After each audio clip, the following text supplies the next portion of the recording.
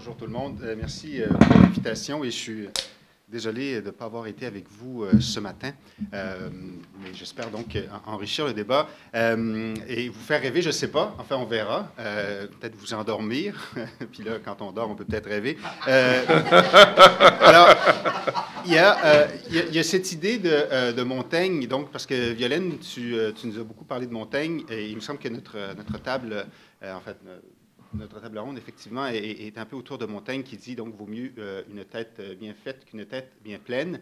Et donc, qui est Montaigne? Euh, Montaigne, donc vous, vous, le connaissez sûrement, et Montaigne a pensé au 16e siècle, donc ça fait déjà un temps. la tête bien faite qu'il préfère à la tête bien pleine était à son époque essentiellement destinée aux garçons de classe aisée. Donc, et ça, c'est un élément sur lequel on pourra revenir euh, un peu plus tard. Euh, son réseau social à Montaigne, c'est l'élite. Euh, Montaigne apprend le latin dès son enfance. Il vit dans un château. il fréquente les rois. il est maire de Bordeaux, donc en même temps un peu de service public. Donc, ça, ça peut aussi être un élément intéressant. il est, dit-on, peu intéressé par sa femme. il préfère sa bibliothèque, là où il trouve qu'il y a un lieu de liberté. Donc, il y a là des éléments, je trouve, sur lesquels, en tout cas, on pourra revenir, qui, moi, m'intéressent, m'interpellent. Et, donc, on peut dire euh, d'abord que Montaigne euh, a les moyens socio-économiques euh, de la tête bien faite. Et c'est d'abord avec ça que je veux, je, veux partir. Et donc, comment transposer Montaigne aujourd'hui, puisque notre, notre table ronde doit discuter notamment de la formation des juristes. Donc, comment donner une formation aujourd'hui euh, aux juristes qui pourraient peut-être s'apparenter de cette euh, tête euh, bien faite de Montaigne, pour quelle finalité, mais aussi à quels étudiants la donne-t-on? Donc, je ne sais pas si vous avez réfléchi à ça ce matin, mais c'est aussi donc la question du, du public. ce que moi je vais retenir donc de Montaigne, c'est pas tant son statut social, mais son humanisme, donc qui est une autre de ses caractéristiques quand même. Et c'est dans cette perspective-là, je pense qu'il faut penser à, la formation du juriste idéal, puisque c'est ce qui doit nous guider cet après-midi.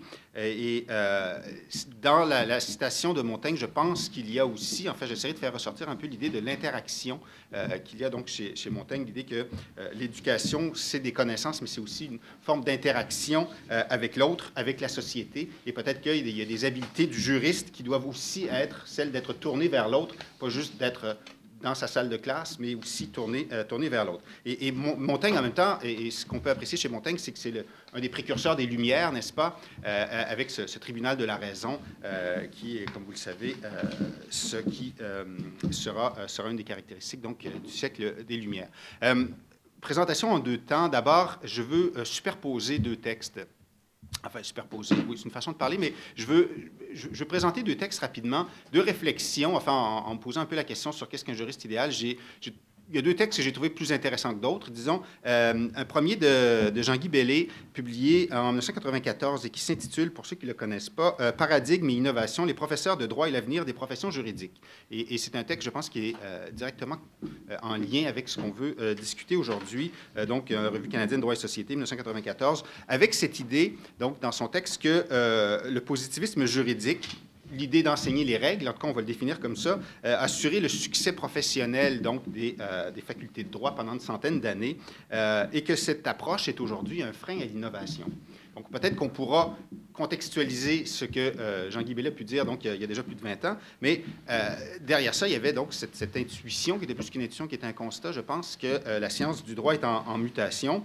Et donc, la question de la formation des juristes se posait assez clairement euh, avec son texte et, celle, la, forme, et, la façon, donc consciente ou non, que les juristes pouvaient euh, apprendre pour, euh, pour donner leur cours, pour monter leur contenu de cours, pour enseigner, etc. Donc la façon que les programmes étaient structurés, avec comme sous-question, est-ce qu'on prépare adéquatement les étudiants pour le marché du travail? Donc il y a dans le texte de, de, Jean Guibellet ce souci de d'une adéquation entre la formation et le marché du travail. Je reviendrai un peu sur cette idée euh, tout à l'heure. Donc, il y a des constats dans son texte sur euh, une crise euh, dans le, le, marché juridique saturé, trop d'avocats, avocates, euh, diminution des revenus, euh, du chômage, donc, chez les avocats, qui est quand même quelque chose de nouveau et qui probablement est apparu, en fait, je n'ai pas les, statistiques, mais euh, qui est assez récent, mais qui encore clairement existe, des avocats, avocates qui changent d'orientation, et avec l'idée, donc, que les universités contribuent à cette crise-là.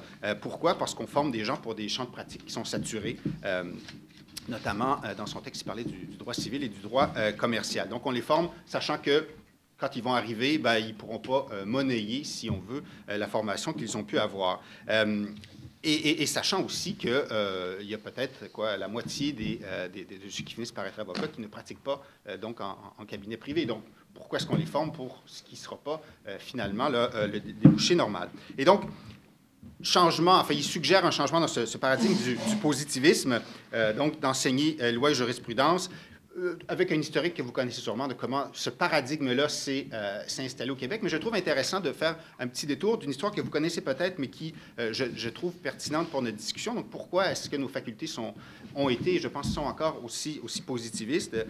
les codifications du 19e siècle au Québec, donc Code civil du, du Bas-Canada, Code de procédure civile, l'inflation juridique, l'idée que le juriste devient quelqu'un d'important dans la société, structuration associative aussi, barreau, chambre des notaires, etc. Donc tout ça, il se met en place euh, quelque part au 19e, cette, structuration et, cette idée que l'avocat commence à être un personnage important dans, euh, dans la société.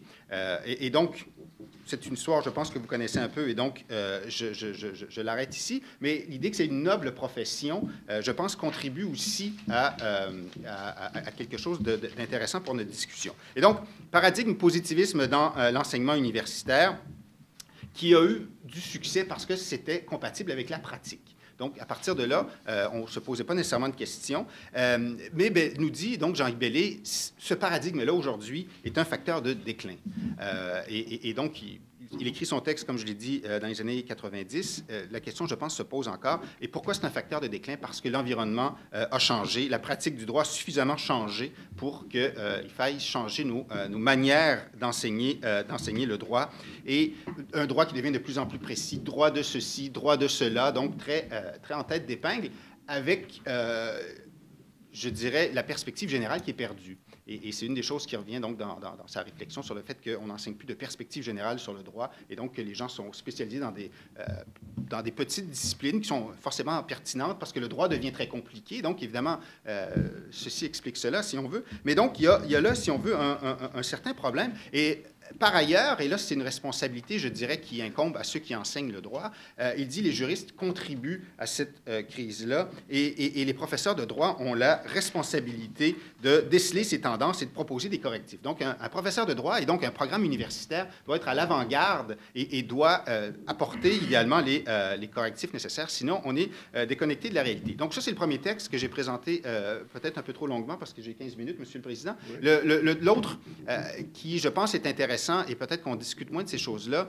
En même temps, ça va euh, peut-être vous rappeler certaines choses, certains concepts, notamment euh, autour de, Pierre Bourdieu. Euh, c'est un texte de Duncan Kennedy, donc l'enseignement du droit et la reproduction des hiérarchies professionnelles. Donc un texte de 1985 qui est assez intéressant, pas très long à lire et sur l'idée que la formation sert à la socialisation des juristes. Donc, au fond, on reproduit quelque chose qui peut être proche de, comment se représente euh, le, marché du, travail et, ce qu'un juriste dans notre imaginaire, donc reproduction de l'ordre juridique, de l'ordre social, euh, essentiellement des facteurs socio-économiques. Donc, dans, la formation, et je, vous en lis un, extrait, les facultés de droit font plus qu'enseigner des règles, elles inculquent aussi ce que ces règles sont dans l'ordre des choses et que c'est là le meilleur ordre possible. Bref, elles reproduisent de la légitimation pour l'ordre social. Et le barreau, qui est à la fois un des éléments et un reflet de cet ordre social, bénéficie de cette production de légitimité. Donc, il y a ça aussi, je pense, dans la, formation, cette culture juridique sous-jacente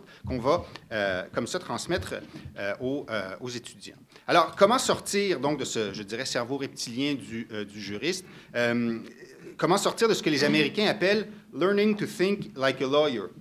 Apprendre à penser comme un avocat. Est-ce que c'est ça qu'on fait donc dans une faculté de droit? Est-ce qu'on apprend à penser comme un, avocat? Est-ce qu'on forme des techniciens? Est-ce qu'on forme des savants euh, ou quelque chose entre les deux? Euh, est-ce que l'enseignement doit se limiter aux, règles du Code de procédure civile ou est-ce qu'on doit aussi euh, parler des plaideurs quérulents, de parler des questions d'accès à la justice, etc. Donc, qui sont aussi des questions liées au sens large à la procédure. est-ce que dès la première année, il faut enseigner la théorie des jeux pour faire bien comprendre aux étudiants que c'est pas la justice qui est le moteur du droit, mais des stratégies pour gagner, et que s'ils sont en pratique privée, ce sera plutôt ça qui, euh, avec lesquels ils devront composer. Donc, des défaire un peu de l'idée de justice. Enfin, il y a, euh, je trouve, est-ce que c'est, c'est, un ou c'est l'autre, ou est-ce que c'est, euh, est-ce que les deux? Et est-ce que les facultés doivent initier des changements ou les accompagner? Donc, est-ce qu'une faculté de droit doit être un peu le, moteur de tout ça? Et donc, la formation, je la divise en trois, en trois composantes. la question des connaissances, des habiletés, et donc je reviendrai sur la question de la culture juridique. Donc, la question de la connaissance, c'est la tête bien pleine donc, de, Montaigne, un juriste qui doit être cultivé, mais être cultivé, en fait, vous le savez autant que moi, c'est une tâche qui est sans fin.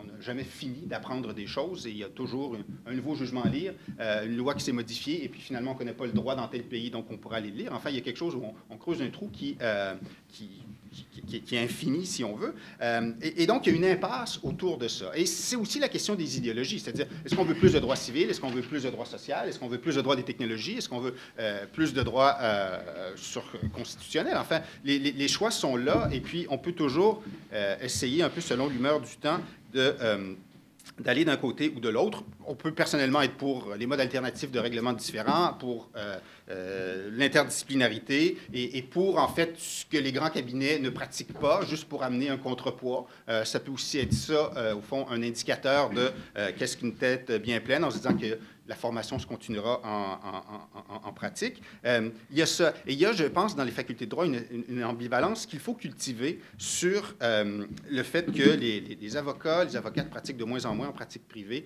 et que, donc, il y a à la fois, il faut les former pour que le jour où ils le feront, ils soient quand même capables de faire. On ne va pas leur donner une formation où on ne parle pas de droit, ça c'est évident. Mais en même temps, il ne faut pas regarder que ce qui se passe dans la pratique. Et c'est tellement éclaté de toute façon dans la pratique qu'on ne s'en sort pas si on veut plaire à tout le monde, à, ceux qui font du droit social, à ceux qui font du droit civil, à ceux qui font du droit international, à ceux qui font ci, à ceux qui font ça. On, finit par, euh, en fait, on finit par créer des maîtrises. En fait, euh, c'est ça qu'on finit par faire en disant aux étudiants, ben, spécialisez-vous au deuxième cycle dans euh, ce qui vous intéresse. Au bac, on va donner une espèce de front de, de, de connaissances communes. Et ma parenthèse sur le barreau, en fait, qui découle de ça, c'est qu'il faut cultiver et, entretenir une relation amour-haine avec le barreau. C'est-à-dire à la fois euh, définir euh, le programme sans le barreau, quand je parle du, baccalauréat, et, tout en sachant que c'est le titre qui est convoité par beaucoup des, euh, des, gens qui vont étudier au bac. Donc, il faut quand même leur permettre de réussir au barreau. Mais il y a vraiment, il faut, et j'insiste sur le fait de, cultiver cette relation amoureuse, donc d'en donner, mais pas trop, et, de toujours avoir certaines euh, distances.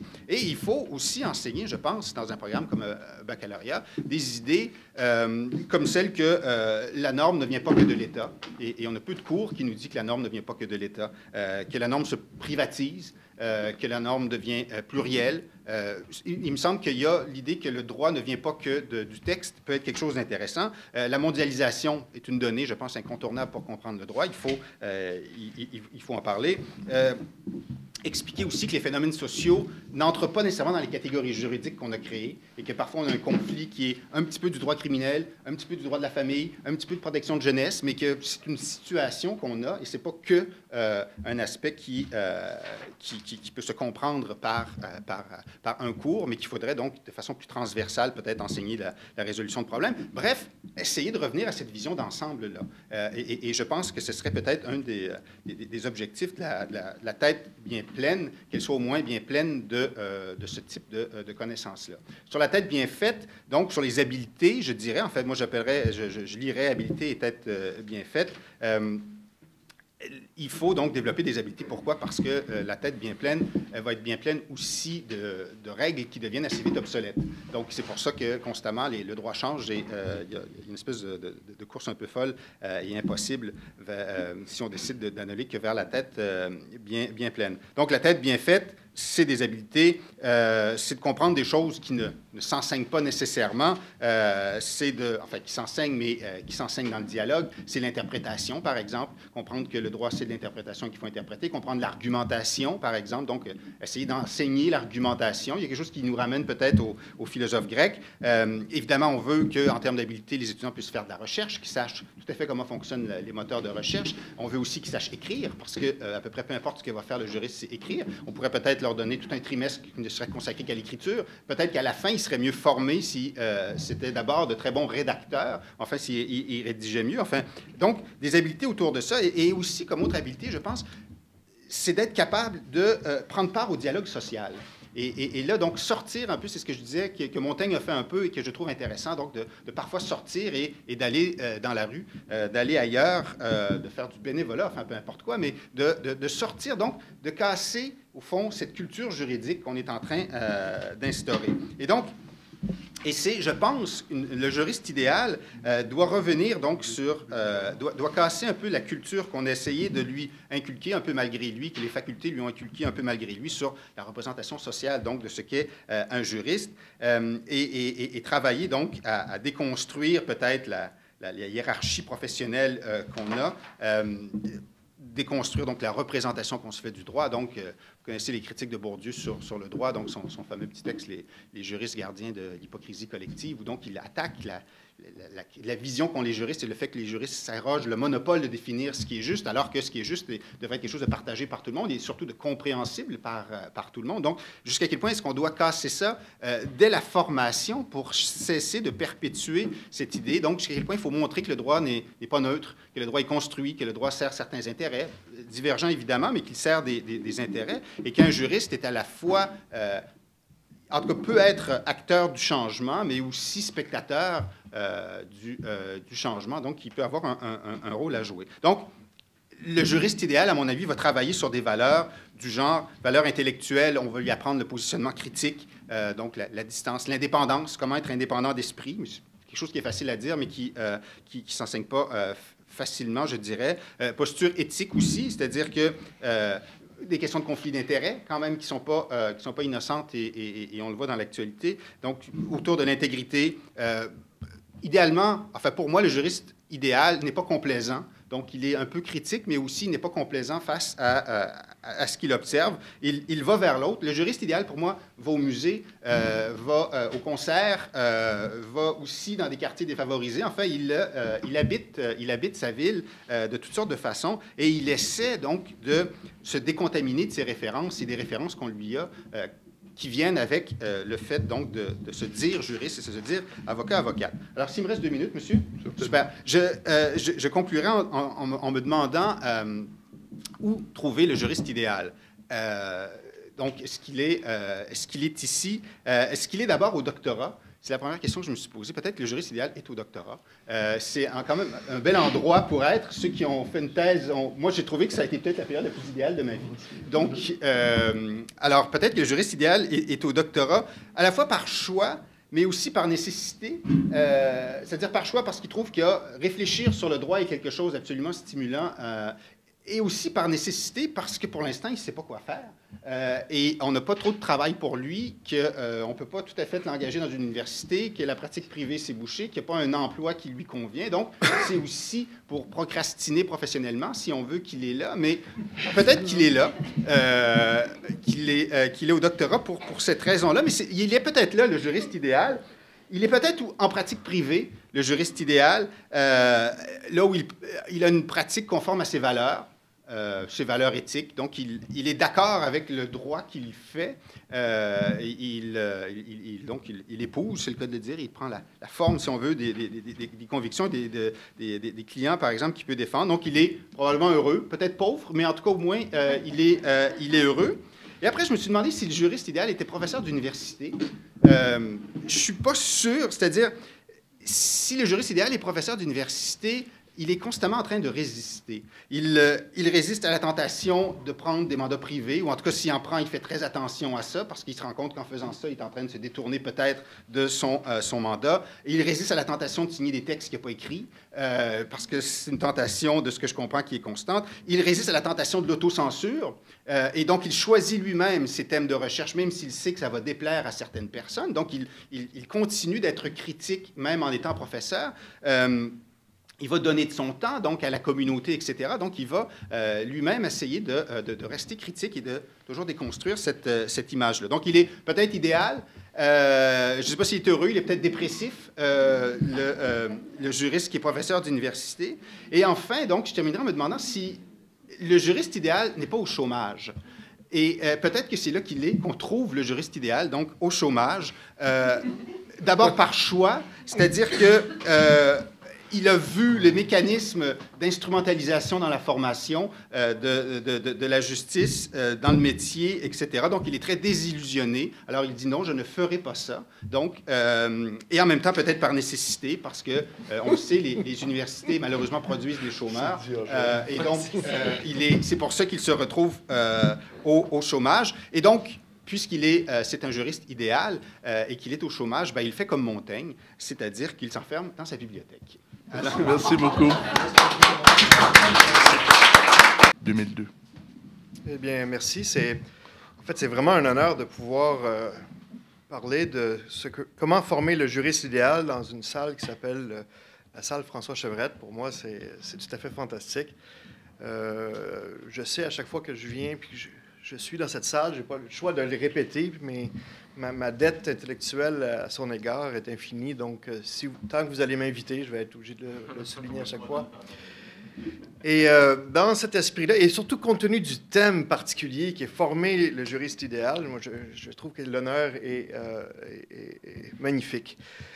Euh, bien assis dans ma chaise de lecture, j'ai réfléchi à ce thème-là. Est-ce que je pourrais dire à un panel qui porte sur comment former le juriste idéal? Et j'ai décidé de, comme professeur de droit, de vous révéler quelques secrets, quelques-uns de mes secrets et de dévoiler aussi trois terribles secrets euh, de la profession de professeur de droit qui ne sont pas peut-être partagés, que l'on ne partage pas souvent auprès de nos étudiants.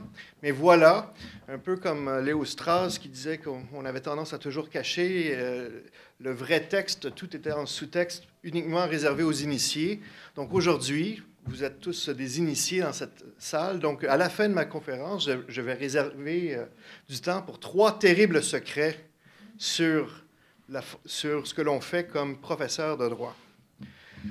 Donc, hein, c'est une façon de m'assurer que vous soyez là jusqu'à la fin. Il y a un petit peu de marketing là-dedans.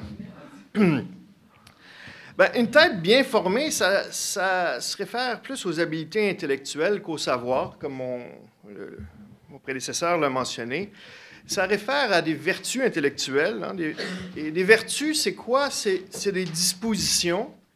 C'est des, dispositions qui sont acquises par la pratique, par l'habitude.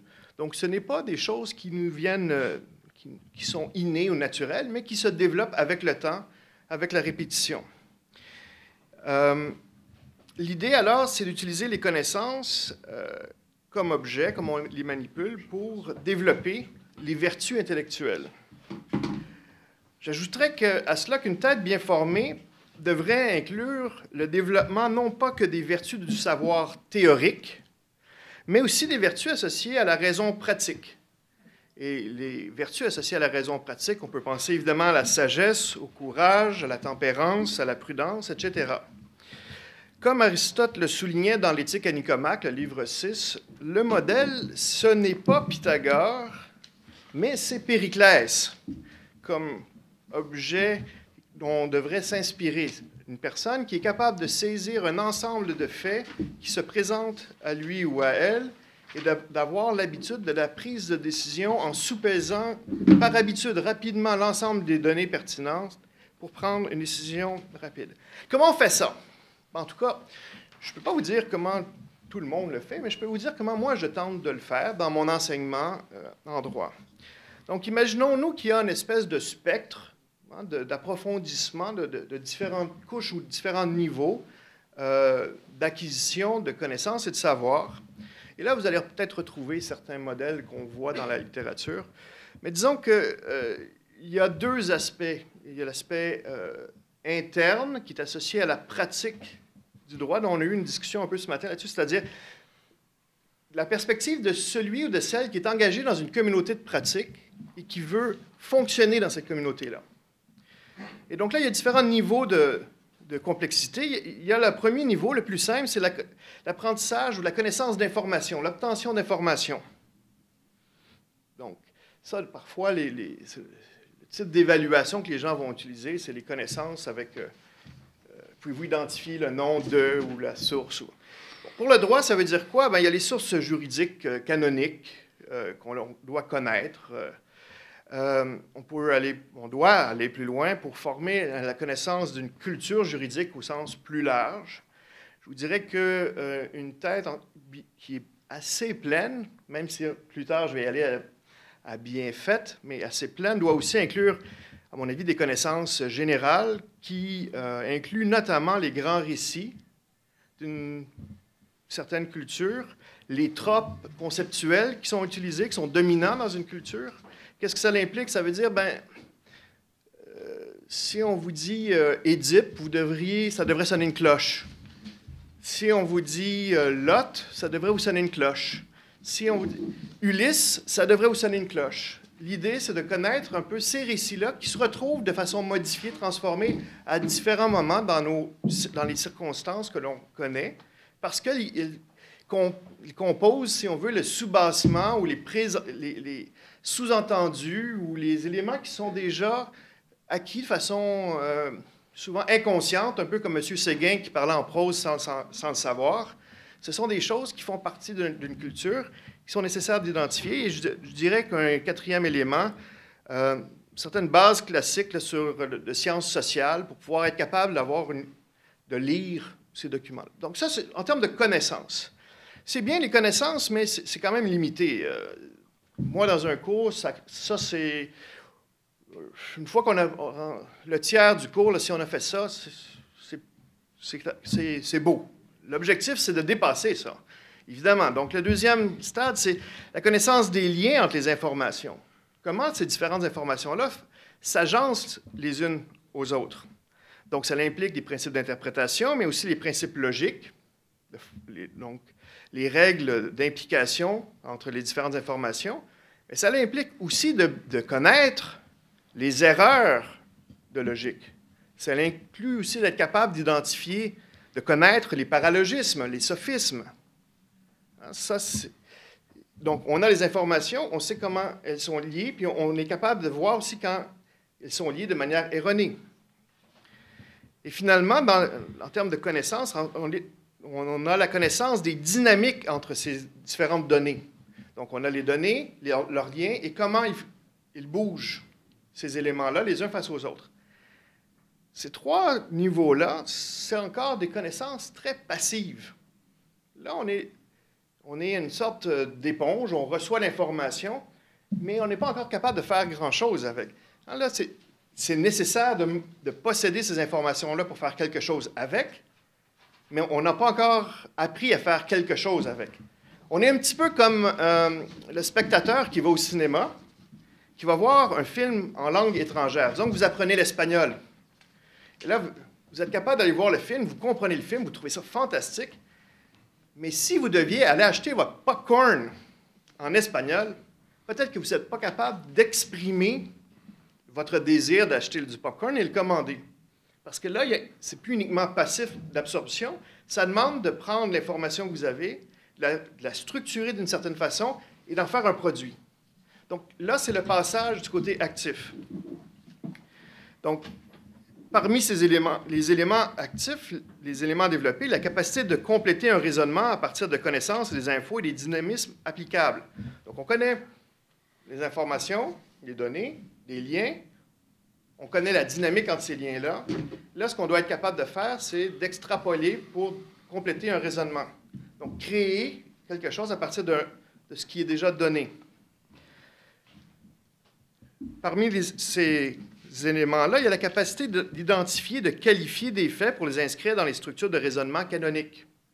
Donc, on a donné l'information, on a donné les liens. Encore faut-il développer l'habilité à qualifier des faits de l'extérieur ou des objets et être capable de comprendre comment on pourrait les intégrer dans notre structure dynamique que l'on a, a appris. Il faut aussi euh, Prochain niveau, être capable de créer de nouvelles structures par des agencements inédits de différents segments de la structure argumentative. Pour pouvoir faire ça, c'est non seulement connaître les données, les liens, la dynamique, être capable d'extrapoler, mais être capable également de créer une nouvelle structure, donc de connaître suffisamment le fonctionnement des uns et des autres pour pouvoir les déplacer. Et ça, ça exige non seulement une compréhension de ce qui existe, mais le développement de l'imagination.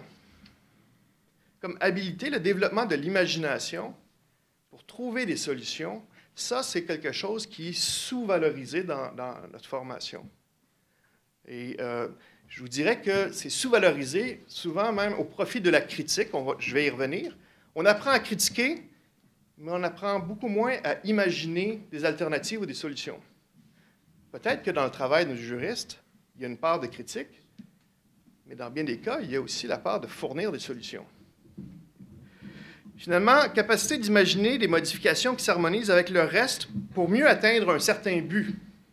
Donc, on est capable d'identifier les morceaux, les liens, la dynamique, extrapoler, modifier, mais non seulement de pouvoir faire ça, mais de pouvoir le faire dans une perspective pas purement théorique ou esthétique, mais dans le but d'atteindre un certain objectif externe. Chaque fois, vous voyez, il y a une complexification des, éléments. Il y a l'élément qu'on pourrait euh, parler de la frontière du interne-externe. On a eu cette discussion-là ce matin. Euh, c'est qu'il y a des choses qui peuvent se trouver à l'intérieur de la pratique, mais qui peuvent se trouver aussi à l'extérieur de la pratique. Donc, avoir la capacité d'identifier des types de raisonnement au sein d'une communauté de pratique. Si vous vous mettez dans la position de celui ou de celle qui est en train d'agir, euh, c'est une, des capacités à développer de pouvoir identifier, ah, ça, c'est un raisonnement à contrario, puis voici comment on est capable, c'est quoi son, le, raisonnement inverse qui pourrait être utilisé pour euh, contrer ce raisonnement. Ça, c'est dans une perspective de celui qui est à l'intérieur de la communauté, qui veut avancer son argument. Il y a aussi de la même, être capable d'identifier le raisonnement utilisé d'un point de vue externe.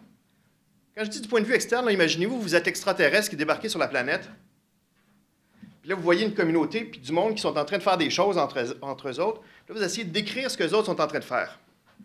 Ben, être capable de décrire le type de raisonnement qui est utilisé d'un point de vue externe, pas parce que vous êtes impliqué dans, dans ce débat-là, mais juste pour comprendre ce qu'ils font. Donc, ça, c'est à la fois une habilité qui est à l'intérieur de la pratique, mais c'est aussi une habilité à développer d'un point de vue externe pour comprendre ce qui se passe. Capacité d'identifier des failles de raisonnement et les parties particulières du canon qui n'ont pas été respectées. Quand je dis faille du raisonnement, si vous êtes à l'intérieur de la pratique, faille du raisonnement, euh, c'est identifier qu'est-ce qui ne fonctionne pas selon ce qui est déjà acquis ou ce qui est déjà attendu à l'intérieur de la communauté. Du point de vue externe, ce n'est pas que c'est une faille en soi, c'est simplement d'identifier, voici dans cette communauté-là, ça, ça constitue une faille dans le raisonnement juridique. Là, vous allez me dire, oui, mais comment on fait pour identifier c'est quoi un argument juridique ou une faille? Moi, j'avais un prof qui me disait, le test pour savoir si un argument est vraiment juridique, euh, c'est le, excusez l'anglicisme, c'est le laughed at test. C'est-à-dire, si vous faites votre argument devant un juge et des juristes, et qui se mettent à rire de vous, les chances, c'est que ce n'était pas un argument juridique. Si vous faites l'argument devant le juge, personne ne se met à puis ils le prennent au sérieux. C'est qu'en quelque sorte, il y a une sorte d'acceptation que ça doit faire partie des attentes, puis il y a une discussion. Où est la frontière? Elle n'est pas nécessairement prévisible. Hein? Ça bouge avec le temps. Il y a des arguments qui étaient impensables il y a 15 ou 20 ans, mais avec les ce qui est attendu, ce qui est euh, prévu, ce qui est possible dans le discours, les choses changent capacité d'identifier des incohérences ou des tensions dans l'ensemble. Donc là, ce n'est pas tant une question simplement d'utiliser les canons du raisonnement à l'intérieur de la pratique, mais simplement utiliser des critères de, logique euh, formels pour identifier des tensions, ou bien donc de simplement d'identifier, par exemple, comme le fameux texte de Carl Llewellyn sur les canons de l'interprétation, où on dit voici une série de principes interprétatifs et voici la série de principes interprétatifs qu'on peut opposer pour donner le résultat inverse. Un exemple assez simple, on a la, règle selon laquelle euh, la, règle postérieure l'emporte sur la règle antérieure, facile. La règle plus précise l'emporte sur la règle plus générale. Quid si la règle plus précise a été adoptée de façon antérieure à la règle plus générale qui est adoptée de façon postérieure. Donc, comment on joue. Ça, c'est une série de capacités vraiment d'une perspective interne puis un peu externe. Du point de vue externe, comment former les, juristes, quelles sont les habiletés à aller chercher? Capacité de porter un jugement de critique instrumentale. C'est-à-dire, est-ce que les moyens employés par le droit sont de nature à atteindre efficacement l'objectif qu'on s'est fixé? Tout ce genre de critique qu'on dit, ah, regardez, voici la règle, voici ce qu'on a à faire. Ça ne réussit pas à atteindre l'objectif. Capacité à porter un jugement peut-être idéologique, politique, moral, esthétique. Donc, c'est-à-dire regarder l'objet et le comparer à un certain standard qui est un standard qui est issu d'un autre système normatif, moral, esthétique. Donc, comme je vous disais, à mon avis, trop d'emphase me semble mis sur la critique, souvent la critique négative, et pas assez sur le développement de la capacité d'imaginer des solutions. C'est pourquoi les juristes, peu importe leur carrière, seront probablement appelés à faire. Comment je le fais en classe? Bien, tout ce que je vous ai dit, là, essentiellement, ça implique qu'il faut nier l'idée selon laquelle les professeurs sont des fontaines de savoir, qui sont là pour remplir les cruches de leur savoir, qui sont au bas de, la chute, qui attendent la sagesse découlant de, notre, de nos paroles. C'est plutôt fonctionner avec l'analogie de nos, cours, sont un peu comme un cours de sculpture. Vous dites aux étudiants, vous avez un bloc de bois devant vous, vous pouvez me regarder taper dessus pendant 45 heures. À la fin, vous connaîtrez peut-être le nom du, marteau, puis du maillet, et ainsi de suite, du ciseau à bois. après 45 heures, vous allez connaître peut-être le nom des mouvements. Vous aurez peut-être vu comment les mouvements s'effectuent, mais vous ne serez pas capable de rien faire tant et aussi longtemps que vous n'aurez pas mis la main sur le bloc, puis que vous n'aurez pas tapé sur le bloc vous aussi.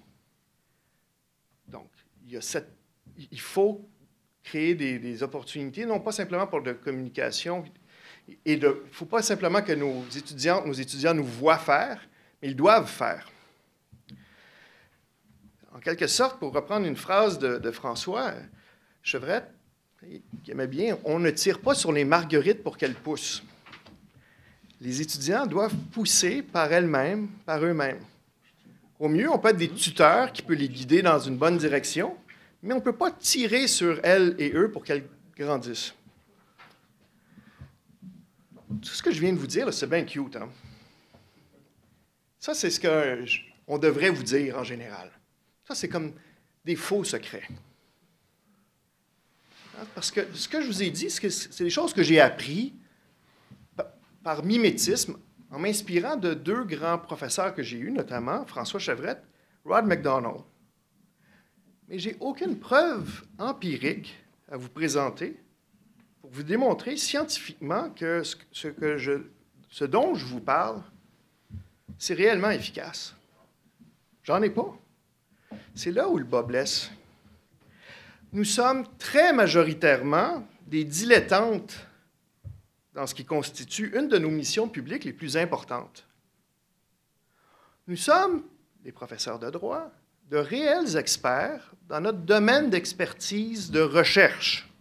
C'est là-dessus qu'on se fait embaucher. On est des pros, dans, on connaît le domaine, on peut l'approfondir, on peut le développer. Mais on n'a pas nécessairement réellement d'idée sur ce que l'on fait en enseignement, si c'est efficace, si ça fonctionne, sauf pour essayer de s'imaginer qu'on répète par mimétisme des modèles qu'on a vus qui nous ont inspirés je veux faire comme elle, comme lui. On a pu décrier pendant longtemps un certain gouvernement fédéral qui semblait refuser de fonder ses politiques publiques sur des données probantes, en niant l'utilité ou la pertinence de la science. Nous, les professeurs de droit, entre autres, dans bien des cas, on a levé le point haut et fort pour se plaindre de ce phénomène-là. Pourtant, nous faisons la même chose pour ce qui est de l'enseignement du droit. Et c'est là que j'arrive avec mes trois terribles secrets. Ah, voilà. Avez-vous Fatima aussi? Fatima, c'est ça, t'es comme la Vierge. Je vais vous parler simplement de trois domaines où il nous manque des données probantes qui sont pourtant cruciales pour ce qu'on fait. Un, ce qu'on pourrait appeler la nomologie.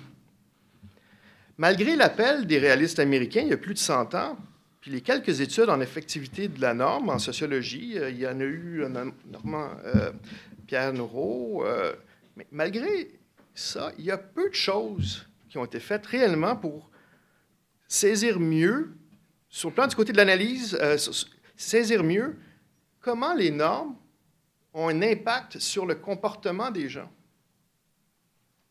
tant sur le plan micro et sur le plan macro. Pas l'idée de simplement une norme, il y a une variété de normes, il y a une variété d'effets potentiels. Or, les, personnes qui étudient le plus les effets euh, qu'on peut voir sur euh, le comportement se trouvent en économie behaviorale.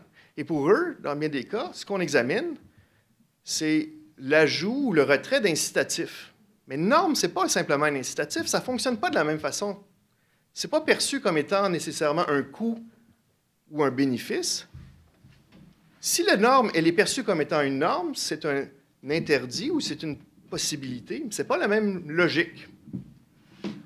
Alors, si on n'a pas de, connaissances probantes sur l'efficacité des différentes formes dans un contexte culturel ou social ou socio-économique déterminé, c'est très difficile ensuite de pouvoir prétendre, nous comme experts, dire nous allons vous expliquer de façon instrumentale pourquoi la norme X ne réussit pas à atteindre l'objectif Y. On n'est pas capable d'offrir une, une, solution autre que moi, comme dès le départ, je dis assis dans, mon, dans ma chaise de lecture, je réfléchis, puis je pense que ça, ça devrait être plus efficace que ça. Je peux utiliser le modèle simple de, de l'acteur rationnel, là, mais J'en sais pas plus que ça. Ça, c'est un problème assez important. On a besoin d'une réelle science de l'interaction des normes à la société, sur, tant sur le plan micro et macro, si on veut, si on s'imagine que le droit doit servir des fins instrumentales. Deuxième, le juriste idéal. Besoin du juriste idéal. Encore une fois, assis dans ma chaise, je peux imaginer un juriste idéal qu'est-ce que j'aimerais que le juriste fasse? il faut que je spécifie dans quel contexte socio-économique il se trouve, quel contexte culturel. Il va y avoir des enjeux de préférence, et ainsi de suite. Mais qu'est-ce qu'on connaît sur les besoins réels de nos diplômés? Les données empiriques, où sont-elles sur l'ensemble de nos diplômés sur 5 ans, 10 ans, 15 ans, 20 ans? on a des anciens qui reviennent, conseil des diplômés, et ainsi de suite, mais on n'a pas de données complètes sur ce qu'ils font. Et ce qu'on a comme données, c'est essentiellement le nom de leur profession, le nom de leur emploi. Qu'est-ce qu'ils font concrètement au quotidien? Et quel est le, le, pourcentage, en quelle proportion ils font tel type de tâche, tel type de tâche, tel type de tâche? On n'en a aucune idée. Nous, comme professeurs, on s'imagine que les gens font tel travail et par conséquent, on va former des gens selon notre imaginaire de ce que d'autres personnes sont censées faire ailleurs. C'est quand même gênant comme service public. Hein, nous allons, selon la base de notre imaginaire, déterminer comment on devrait former des gens sans savoir si ça marche. Ça, c'est le troisième secret. Il y a des, études sur l'efficacité de méthodes pédagogiques. Hein, il y en a en éducation, il y en a. Quelles sont les données probantes qui existent en matière d'éducation, de pédagogie en milieu euh, de faculté de droit? Il y en a. Quand est-ce qu'on les utilise? Quelles, sont les données qu'on aurait besoin d'avoir? Ce pas des questions qu'on se pose. Quelles sont? Il y en a qui se les posent, mais c'est une minorité une de nos tâches premières, hein, c'est de former le juriste idéal. Alors que là, on ne sait pas les méthodes qui fonctionnent réellement sur des bases probantes. On ne sait pas que va faire le juriste par la suite sur la base de données probantes. Et on ne sait même pas comment les normes en elles-mêmes ont un effet pratique sur la, la société. Mais nous sommes des experts de l'enseignement du droit.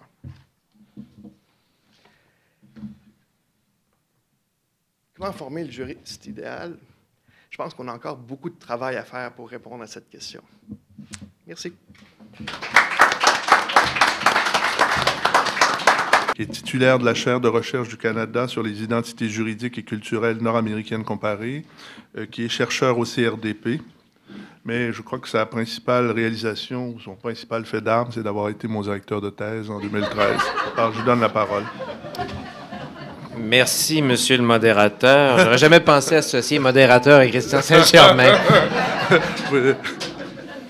Permettez-moi de faire deux petites annonces avant de commencer, parce que je pense qu'il y a plusieurs personnes ici qui s'intéressent à la formation juridique, à la formation en droit. Il y a d'autres activités qui, euh, vont avoir lieu dans les, dans les prochaines années, très certainement, mais à court terme. Le 11 avril, Marie-Claire Foblet, qui est directrice de l'Institut Max Planck de droit et d'anthropologie, va venir nous parler de la formation des juristes en Europe continentale et des défis que la formation pose, notamment en lien avec les savoirs non juridiques. Euh, et le 3 mai, euh, Christophe Jamin, doyen de l'École de droit de Sciences Po, va venir nous parler de la querelle de la formation des juristes en France et du rôle de Sciences Po. Alors, donc, voilà, ce sera annoncé, ce n'est pas encore officiel, mais vous avez un scoop. Hmm? Euh, oui, le 8, oui, le 8 avril, table ronde. c'est quoi le titre officiel, France?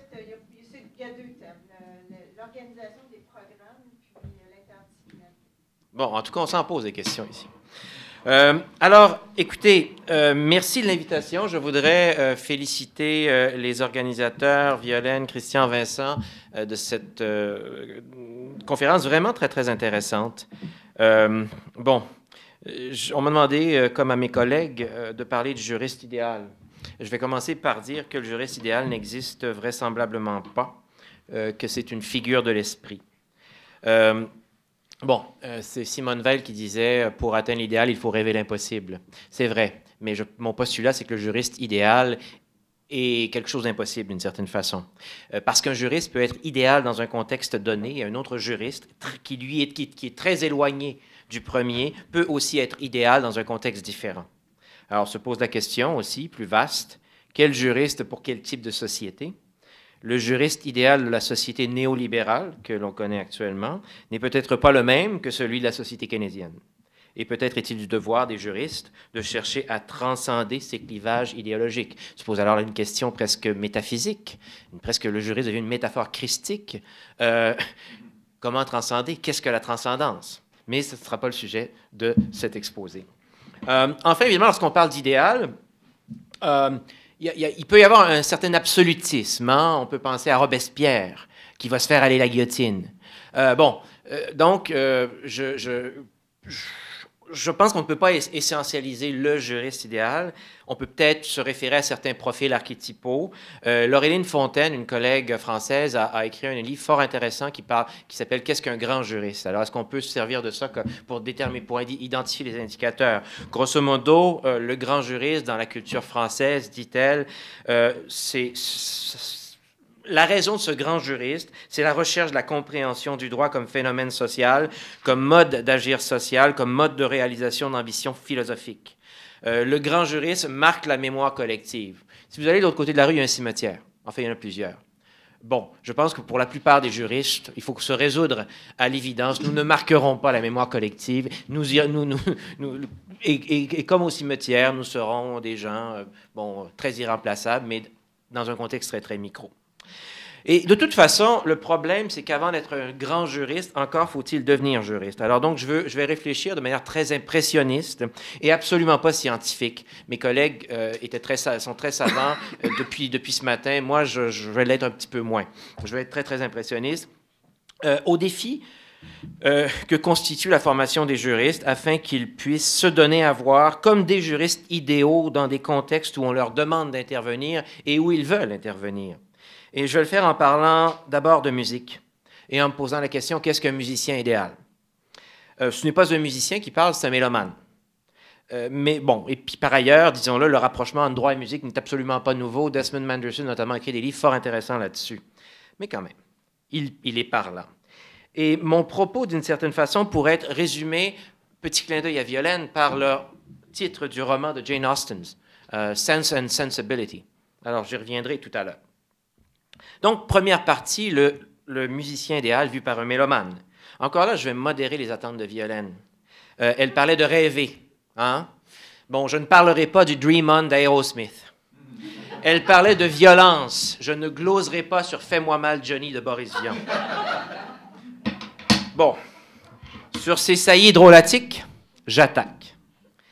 si on évoquait l'idée d'un musicien idéal, qui est une autre figure de l'esprit, on s'entend?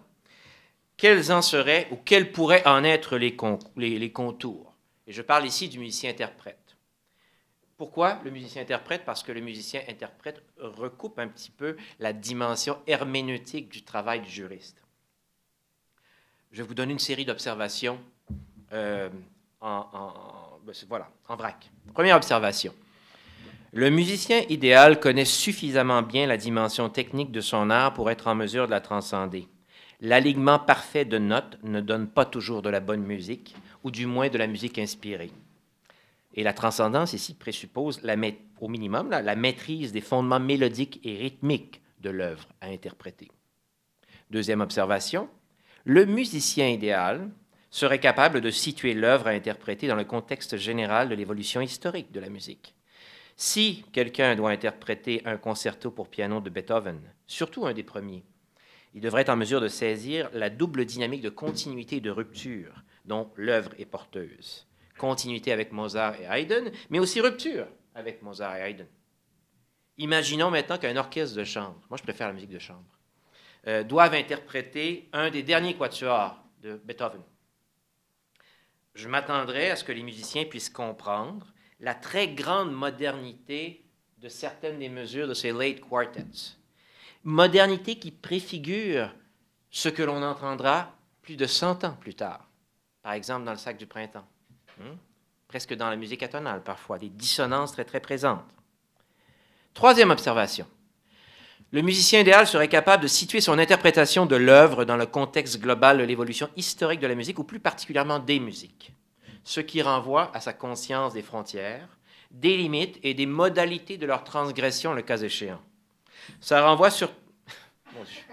Foule en liesse. Cela renvoie surtout à son rapport aux sources et à l'exercice de sa réflexivité quant à l'usage de ces sources. Prenons le concerto en Fa de Gershwin. Vous écouterez ça sur YouTube tantôt, hein, pour vous remettre ça en mémoire. Quelle place donner aux sources jazz ou plus classiques que l'on trouve dans divers, divers, passages de ce concerto? Quand il a été créé à Carnegie Hall en 1925, il y a des gens qui ont dit c'est pas de la musique classique. Stravinsky a dit j'adore ça. Mais déjà, il y avait une ambiguïté. Qu'est-ce que c'est au juste? On voit ça, les gens qui s'aventurent, les, juristes qui s'aventurent parfois à, qui touchent un peu à la sociologie, à la philosophie. Parfois, ils se font reprocher de ne pas faire assez de droit hmm, par les juristes. Alors que les philosophes, par exemple, les sociologues, vont leur, dire il y a trop de droit. Moi, j'ai beaucoup vécu ça dans ma vie. Hein? C'est épouvantable. Quatrième observation. Le musicien idéal serait capable de situer son interprétation par rapport à des interprétations antérieures. Il ou elle est réflexive et autocritique. Imaginons que l'on veuille jouer un impromptu Deutsch 899, opus 90 de Schubert. Vous aimez le cinéma? Trop belle pour toi avec Carole Bouquet, inoubliable. Euh, récemment, Amour de Michael Haneke. C'est la trame. Alors, ce musicien ou cette musicienne devra situer son interprétation par rapport à celle de père, des anciens comme Claudio Arau, ou des contemporains comme Alfred Brendel ou Maria Joao Pires. ça rappelle un petit peu le roman à la chaîne de Dworkin et l'idée de fidélité. Mais bon, cinquième observation. Le musicien idéal doit être suffisamment réflexif, je l'ai dit, pour s'abstenir d'interpréter certaines œuvres, ou du moins de le faire publiquement avant de l'avoir véritablement décanté et d'en avoir compris les possibles. Cela renvoie encore une fois à la conscience des limites, limites qui peuvent être évolutives, et de la modestie du musicien par rapport aux limites de sa compétence. C'est dans notre code de déontologie, autant les notaires que les avocats d'ailleurs. Un pianiste absolument extraordinaire, Maurizio Polini, qui a 70 ans et plus, n'a que très récemment enregistré le clavier bien tempéré de Bach. Pourquoi? Parce qu'il était gêné l'enregistrer, pour bien pénétrer cette musique. D'ailleurs, si c'est sur Deutsche Grammophon, c'est absolument extraordinaire. Je vous, le, je vous le recommande. Sixième observation. Le musicien idéal doit comprendre le rapport qui s'établit entre le son et le silence, ce qui signifie qu'il doit comprendre également les sounds of silence, pour paraphraser Simon Garfunkel. Septième observation. Le musicien idéal doit comprendre, euh, doit saisir la polyphonie, les enchevêtrements mélodiques et rythmiques. Bon, pensons à l'art de la fugue qui l'incite à le faire. David House a écrit là-dessus, collègue juriste et anthropologue qui est à Concordia. Et je me souviens, il avait donné un cours quand j'enseignais à McGill. Il faisait sa conférence et il mettait la musique de l'art de la fugue. C'était très, très intéressant et très déstabilisant pour les étudiants. Mais ça marchait. Neuvième observation. Le musicien idéal doit être fidèle à l'œuvre sans la réduire, l'essentialiser, mais doit pouvoir aussi exprimer sa créativité. Il y a une part de liberté. Hein? D'une certaine façon, ici, il y, a un dialogue de normativité. Celle de l'auteur de l'œuvre qui comporte des éléments objectifs qui sont normatifs. Celle de l'interprète qui prend des décisions qui momentanément vont, avoir une, portée normative eu égard à des choix interprétatifs possibles. Et ce, autant quant au choix des outils que de les conceptions concurrentes qui euh, s'offrent à lui ou à elle. Quand on parle des outils, il y a Nicolas Arnoncourt qui est mort il y a quelque temps, qui bon, qui s'est beaucoup penché sur la musique baroque et qui a été un des premiers à avoir une faire de, la musique, euh, euh, de l'historico-musicologie et d'utiliser des, instruments anciens. Mais selon que vous jouez du Mozart avec un piano forte ou avec un piano moderne, c'est pas la même chose, ça sonne pas de la même façon. Ceci renvoie au rapport entre autorité et interprétation, rapport sur lequel nous, avons intérêt à méditer, mais qui va supposer, et la, médiation, la méditation va, supposer une médiation de la part de l'interprète. Et ici, d'une certaine façon, le savoir lire, le savoir écrire et le savoir faire euh, se nourrissent l'un l'autre. Parlons maintenant des juristes. Vous allez voir, je pense qu'il y a quand même certains, éléments euh, qui, euh, qui, concordent. Bon, euh, en fait, le juriste idéal, ayant dit qu'il n'existe pas vraiment, renvoie peut-être un archétype fondé sur des attitudes, sur un rapport à un objet, sur un rapport à la vie. Et en ce sens-là, c'est sûr que j'inscris mon propos ou ma conception du juriste dans un cadre humaniste, beaucoup plus que technique. Non pas bien sûr qu'il faut maîtriser la technique, mais c'est un, euh, pour, euh, comme disait euh, Gainsbourg, enfin dans, dans, dans Je t'aime moi non plus, la, la, formation purement technique, c'est une voie sans issue. Pourquoi? Parce qu'il y a trop de techniques. Nous sommes bombardés par des normes. Comment peut-on prétendre, en l'espace de 3-4 ans, apprendre toute la technique? Il y a des fondements, il y a des, des concepts fondamentaux qui peuvent être utilisés de manière transversale. Ce qui renvoie à ma première observation. Le juriste doit connaître, les fondements substantiels, méthodologiques et épistémologiques de sa discipline. Je dis bien les fondements. Il est en vain de viser l'exhaustivité technique. Alors, très honnêtement, là, qu'il y ait un cours. Bon, ici, en première année, on donne six crédits de droit constitutionnel. On pourrait en mettre cinq, puis ça ne serait pas plus grave que ça. Hein. Puis on pourrait, mettre, on pourrait mettre sept crédits de droit pénal, ou en mettre quatre, ou en mettre cinq à un moment donné, ce qui est important, ce sont les fondements, les conceptions fondatrices à partir desquelles on pense, à partir desquelles on lit la réalité. Deuxième observation, le juriste doit être studieux. Il doit savoir lire, il doit savoir écrire, et écrire et lire suffisamment pour véritablement s'investir dans un travail d'herméneutique qui est sérieux. En anglais, on dit he or she must be able to engage. Et là-dessus, je dois dire que je trouve que nos étudiants, trop souvent, ne s'engagent pas. They do not engage enough. L'idée de lire patiemment la jurisprudence, l'article de doctrine, le texte de la loi, de, le déchiffrer comme Jean-François Champollion pouvait le faire avec les hiéroglyphes au début. Il y a un labeur du droit. On ne le dit pas assez. C'est un labeur de creuseur de trous, de planteur de patates, de poinçonneur des lilas. Il faut le dire. Troisième observation. Le juriste doit être ouvert au sens d'être curieux et d'être en mesure d'accepter de se remettre en question et de reconnaître qu'il peut avoir tort à la lumière des faits, fussent-ils désagréables, ou d'arguments contraires. Et là, il ne s'agit pas d'être bêtement ouvert. À le en discours politique, on dit il y a les gens qui sont ouverts et les gens qui sont fermés. C'est une bêtise absolument abyssale comme discours. Hein? Ça renvoie encore une fois à l'obligation de réflexivité, notamment quant aux limites des vérités apodictiques que le droit produit. Quatre, le juriste doit être cultivé. Il doit être en mesure de situer ce qu'il fait dans une tradition, une tradition d'interprétation, de considérer et de considérer de manière réflexive comment il connaît ce qu'il veut ou ce qu'il croit connaître, et de faire des choix éclairés. Et peut-être surtout de comprendre qu'il ou elle peut faire des choix et quand il ou elle peut les faire. Ça renvoie à cette idée de tradition, à, ce à quoi Hugo se référait lorsqu'il parlait des grands récits, d'une certaine façon. Cinquième observation, le juriste doit ou sait être critique, ou le juriste idéal. Il soutient, interprète ou exerce l'autorité en conservant une distance, notamment quant à la reproduction de certains construits intellectuels qui, qui sont potentiellement opprimants ou qui, justement, participent d'un discours de foi, où on occulte souvent la dimension politique des choix qui ont précédé l'édiction de la norme. Le juriste, sixième observation, doit être conscient de son rôle systémique dans l'état de droit.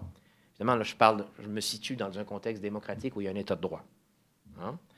Euh, et, d'une certaine façon, on doit être conscient, ou on doit chercher à conscientiser nos étudiants, me semble-t-il, euh, à, l'idée que les micro-interventions qu'ils vont faire en tant que juristes vont interpeller parfois des principes beaucoup plus macroscopiques. Septième observation, le juriste doit savoir contextualiser ses interventions. Parler de prise en compte des contextes ici ne constitue pas une invitation à la dissolution de la normativité du droit, mais plutôt une invitation à individuer des opinions fondamentalement ancrées dans des normativités. Ça renvoie au rôle de solutionneur hein, des juristes, de proposer des solutions adaptées. Encore là, je, je rejoins mes collègues. Et là-dedans, ça suppose de faire preuve d'une certaine empathie. Empathie qui n'est pas de l'émotivité non, médiatisée qui est très à la mode ces temps-ci. Huitième observation, par sa culture, par sa capacité à agir en tant que détentrice d'un savoir spécialisé hétéronome, la juriste a vocation d'être une, une, actrice fédératrice, ce qui présuppose de développer son intelligence culturelle, son intelligence aussi émotionnelle. Pour être fédérateur, à mon avis aussi, il faut s'assumer. Il faut être décomplexé. C'est toi, Violaine, qui disais ça tout à l'heure.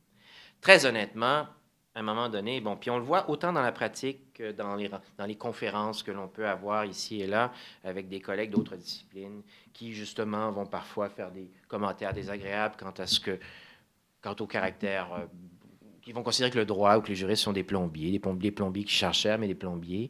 À un moment donné, il faut euh, se mettre un peu, un peu dans la peau de Clark Gable dans Gun with the Wind quand il dit à Scarlett O'Hara, Frankly, my dear, I don't give a damn. Euh, euh, le juriste ne doit pas être naïf et doit être prêt à se confronter à un monde juridique qui bouge. On a parfois l'impression que tout bouge et rien ne change. Euh, ça bouge vraiment. Hein? On, commence à peine à entrevoir l'impact de l'intelligence artificielle sur la pratique du droit où qu'elle soit. On n'en parle pas beaucoup, hein? mais il y a un tas de tâches que les juristes font, faisaient, qu'ils ne feront plus dans 20 ans, dans 10 ans. Et il y a des enjeux très, très sérieux. Alors, où va se trouver la valeur ajoutée, ajoutée du juriste, quel que soit son, son environnement de travail, c'est une question que nous devons nous poser. Dixième observation, et j'achève. En fait, je conclus. D'une certaine façon, je pense que vous aurez compris de ce que je viens de dire que ma conception du juriste ou de la juriste idéale en est une qui fait de ce juriste quelqu'un qui sait concilier sense and sensibility. Hein? Il n'y a pas de recette. Il n'y a vraiment pas de recette, mais ça impose le travail sur soi. Et dernière chose, on ne le dit pas souvent. Le juriste doit savoir être silencieux. Nous vivons dans un monde qui carbure au coup de gueule, aux opinions peu étoffées, annonnées, mais qui sont, et qui se sont souvent émises sous forme de logorées. Les médias sociaux y participent beaucoup. Dans un contexte comme ça, le juriste doit apprendre à, apprécier et à pratiquer le silence. Pensez aux musiciens. Ça, c'est très important. Puis, j'ai toujours, j'aime bien finir par Wittgenstein, qui disait évidemment, quand on n'a rien dans son tractatus, quand on n'a rien à dire, on se tait. Sur ce, je n'ai plus rien à dire, donc je me tais. Merci.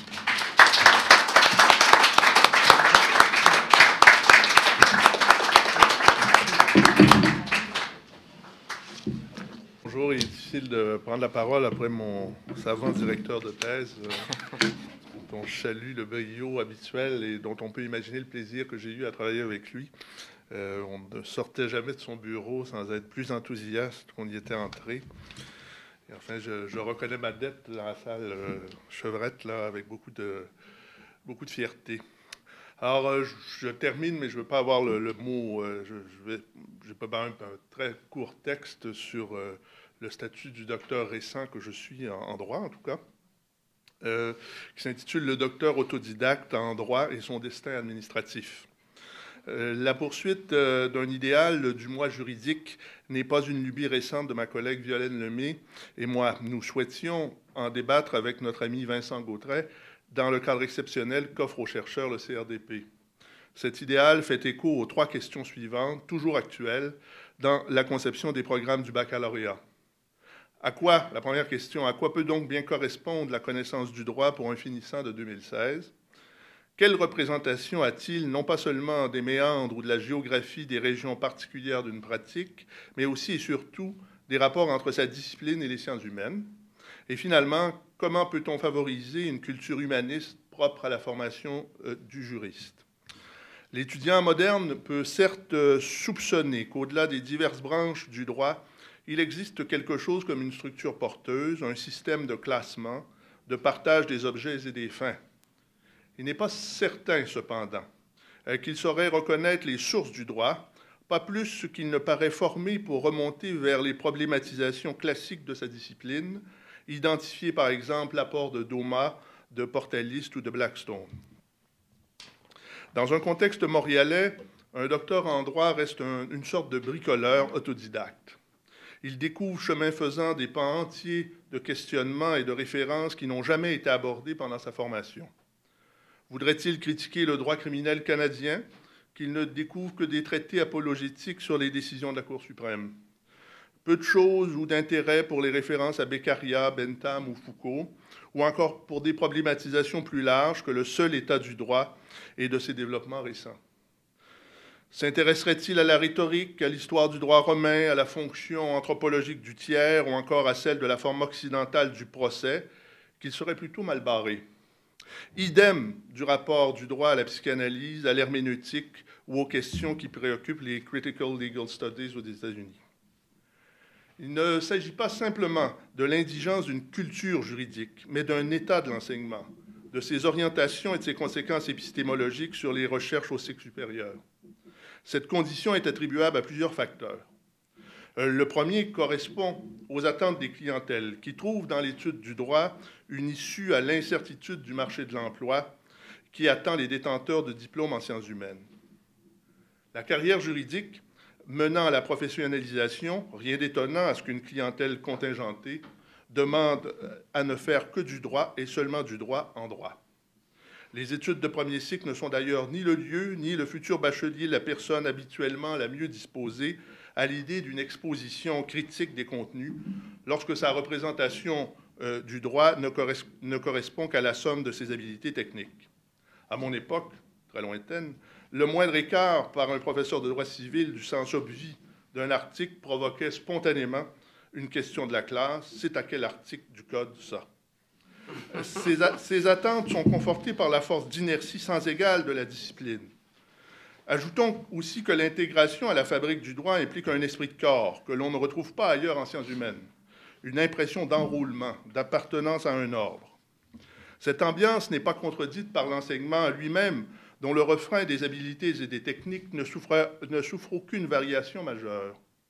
Dès le chant choral des professeurs de premier cycle, les postulants baignent dans le contenu révélé des lois et la binarité des solutions jurisprudentielles.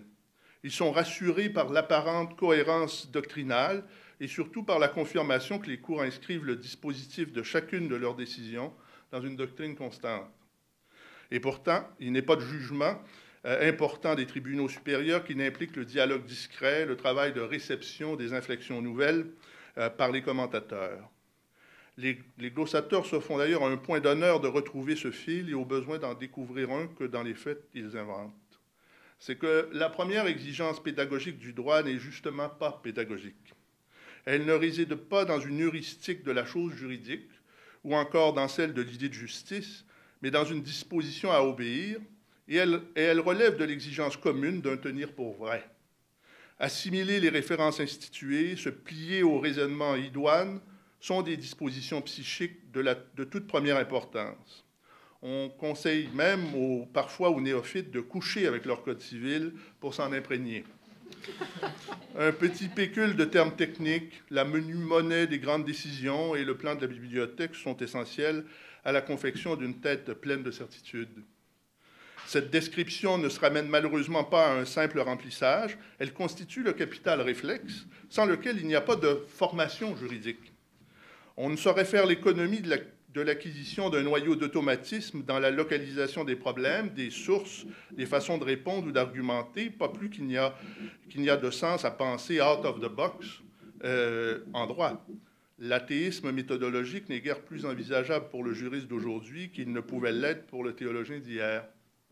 Euh, à moins d'adopter l'horizon nihiliste d'un aquabon des lois ou d'imaginer les matériaux utopiques nécessaires à un ordre social soustrait à la sphère du commandement et de l'obéissance.